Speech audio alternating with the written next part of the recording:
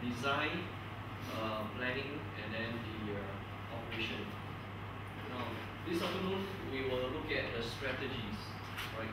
When we say strategies, what do we mean by supply chain strategies? So, over the years, supply chain strategy has evolved, and you as a supply chain professional, at least must know what are the strategies when people talk about supply chain strategy, so that you are aware and you know how to implement some of those strategies. Okay. So, let's go back to uh, looking at the uh, the aim of this uh, session here is to first touch on some of the concept and strategies. And in the, in the meantime, we also revisit the definition of logistics and supply chain. Right, is there a different or they are the same? And then we look at the strategies. As of today, what are the kind of strategies in supply chain management? Right? You may have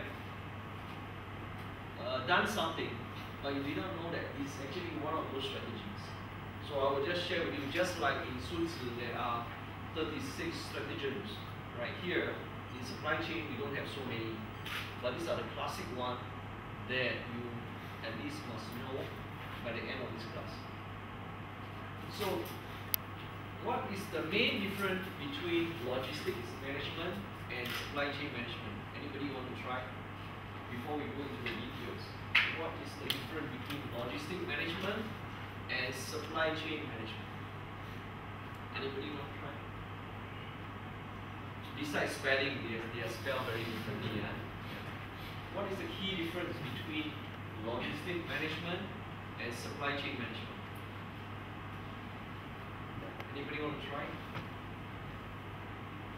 Or are they the same? If they are same, why they use two words? You know, so there must be some differences, right? So what is the difference between logistic and supply chain? Timing. Timing. This one is the old version. This one newer version. It's not vibration. Uh-huh. uh, I think logistics is more like the logistics statistics, I mean very quite straightforward. Where warehouse and transportation is a Uh-huh. supply chain is looking into the whole chain integration. How best that we can uh, how best that logistics can support the supply chain. Okay, so one of his points is that logistics is about functions like storage, warehousing, transport, typical kind of functions. Logistics is movement.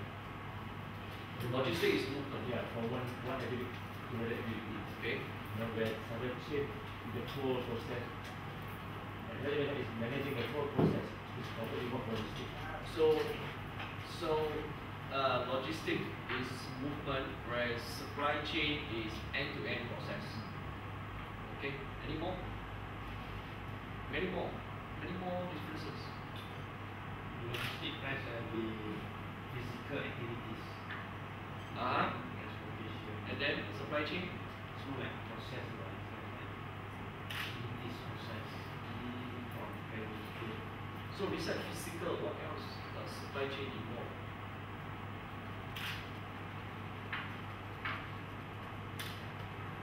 Any more difference between supply chain and logistics management? Very important because as a supply chain professional, you must be able to tell people what is so different between you and the traditional logistician. What are the differences?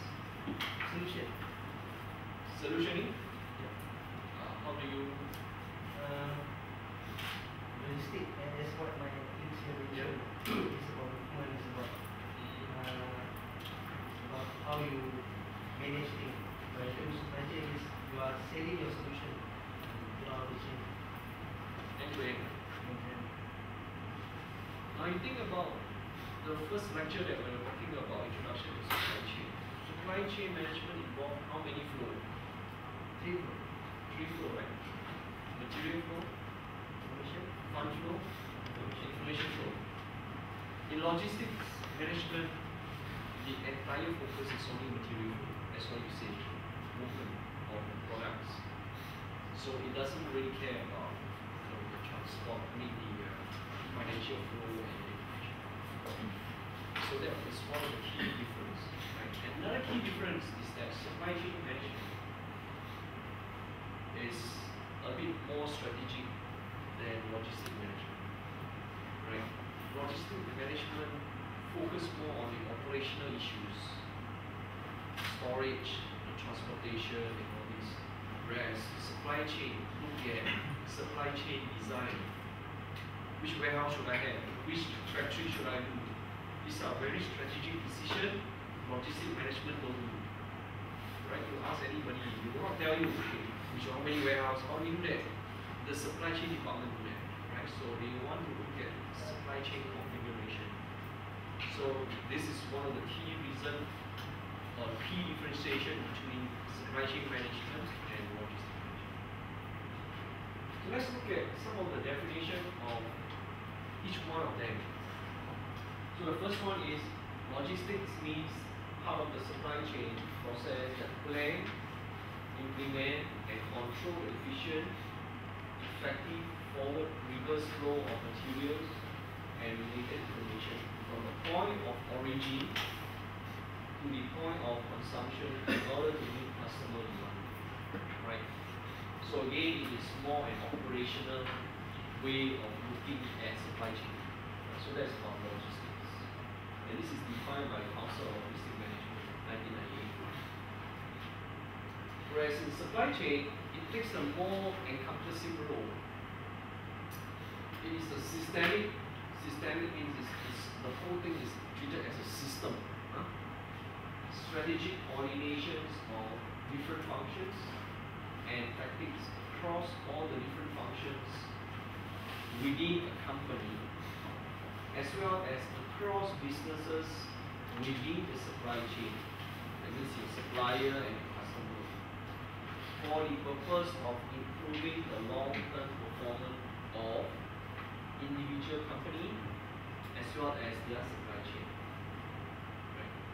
Now this may be a bit long-winded, but here what it says is that first of all, if you look at the first part here, the first four sentence, it means that within the company, they are purchasing, finance, distribution, all these.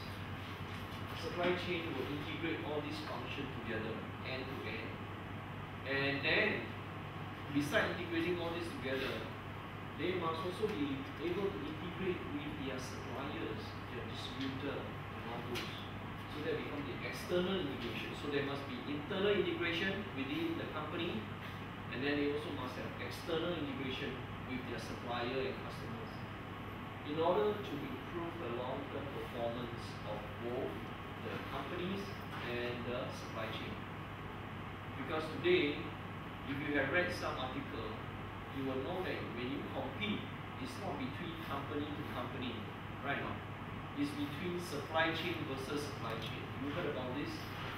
Is which supply chain is more efficient and more responsive, right? Rather than which company is more responsive. You can be very, very responsive, but you don't have a good logistic company that will deliver to you on time. You know? So it's the whole supply chain that is very important. So today when you want to compete, it is how efficient your supply chain is. Not just your company. Your company rely on your supply chain. So if your supply chain is slow in responding, very expensive, you cannot compete. So the bottom line is the supply chain is the main driver of the competition today. And in the uh, in the word logistics also come from uh, if you look at the Greek Greek uh, word, uh, the idea that process should be organized into uh, hierarchical, logical, and seamless order in order to achieve the optimum results. That is the definition from Greek uh, right? So it's about sync, right? Integrating all the different operations together. And you can find that all this logistics, uh, as what uh, Dr. Ong said, is all in the army, right? Whether it's Napoleon or Alexander the Great, they will look at how many ships you need, how many shoulder you need, you know, so many things you need. How much food you need to inside the uh, the ship and all those things. These are logistics. These are logistics. Now I think I read a book before, very interesting book that says how you know the Egypt they built the pyramid, right? You know the pyramids from Egyptians. The question that people will ask is that you know those stones that they use to build the pyramid, one stone is I don't know how many tons, I think maybe 10, 20 tons. How are they able to carry them? These are all rocks, uh, uh, heavy rocks. How are they able to carry them from another place in Egypt all the way down to Egypt and then build them up? It's a logistical issue. You know, how do they move this rock from one end to that place and then build the pyramid? and, actually, they actually found that the reason or how they were doing it is because there was a river last time, river now, and they were able to leverage during high tide, they bring the rock to one of the, the small little boat there, put all this rock on the boat and move it down, and then after that unload it and then ship it to the place to build the pyramid. And how do they bring it up and higher and higher? Do they have crane at the time during the Egyptian time? So how do they move the rock up? Again, a logistical issue, right? How do they do that? So you find that whether it's army or whether it's construction, logistics play a very. And from logistics, it evolved into supply chain because logistics is too limited. It only deal with its own company, right? It doesn't deal outside the supply chain. So that's how supply chain can evolve. And and that's where the word supply uh, system theory came in, right? When we say system theory, we look at things in a system perspective now. So no longer a company is a system, but the suppliers, the customer, the 3PL, they are part of this system. And that's why we treated them as a supply chain system. Eventually, the word supply chain management may be changed into supply chain system. Eventually, right? Could be that way because everything is integrated. So it's a system whose all the parts include material, production, distribution, and customer all linked together and feed forward flow of material and information. Right, so this could eventually be the new definition of supply chain by, by turning the whole supply chain as a system. Right? So if any part of the system fail, the whole supply so your material from your supplier must come on time. If the material doesn't come on time, the system fails. Right? Production. So if you have a lot of uh, defects, again it's a dropout. Then the system fails to deliver to your customer again. The distribution system, the transport, right? If you transport your goods uh, halfway, the roads conditions are very poor, the weather is bad, then the system fails again. Okay? And and then deliver it to your customer. So the whole, whole idea is that you have to look at this from a system point of view rather than just thinking about your own company, but you have to look at your supplier, your facilities, the distribution services, and so on. And then the material flow and information flow. And that becomes the supply chain system. And that's why you'll find that today this become more and more integrated. Right? And when we say it is a system, we then look at what is in the system, right? So here you will have a lot of inputs into this transformation process, right? So this could be your production, manufacturing, warehouse, right? So all the raw material will go in there and then get transformed and then ship it out. Now, traditionally, one of the problems that people complain about supply chain books is that it is linear. You know what is linear? That means to say that a if this is your company, right? The suppliers, there's only one supplier, and then go to one customer. So this is called a linear supply chain. But in real life, do you have a linear supply chain? You will never have a linear supply chain, right? In real life, you will have many, many suppliers.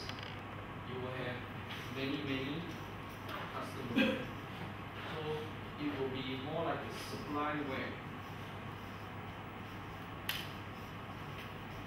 Because it is not linear. If it is linear, then it is not realistic, right? You don't buy from one supplier and you don't sell to one customer. So the whole idea is that the transformation uh, comes from many different inputs. And then when you get out from that process, the whole supply chain process, you will go out to multiple output as well. Right? So this is exactly how the real world will look like eventually.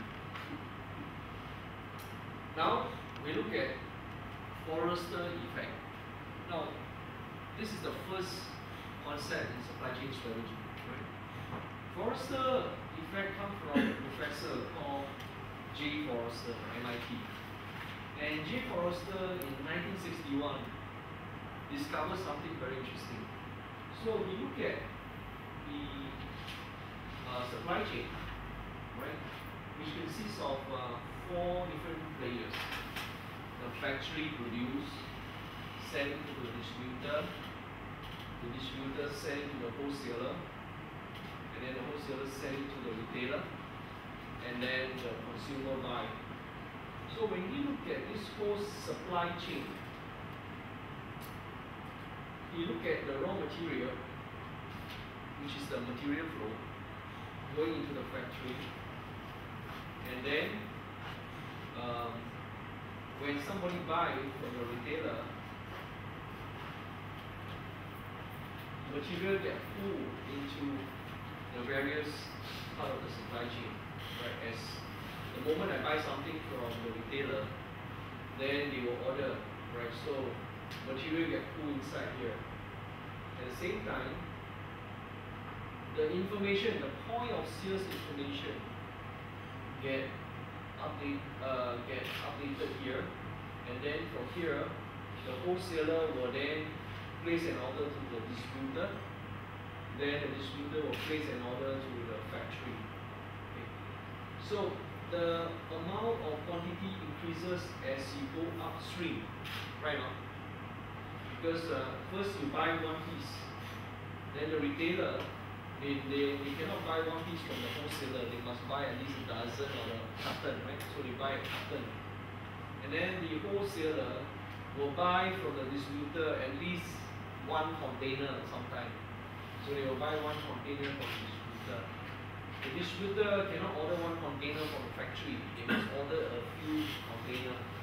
So they will then uh, buy more.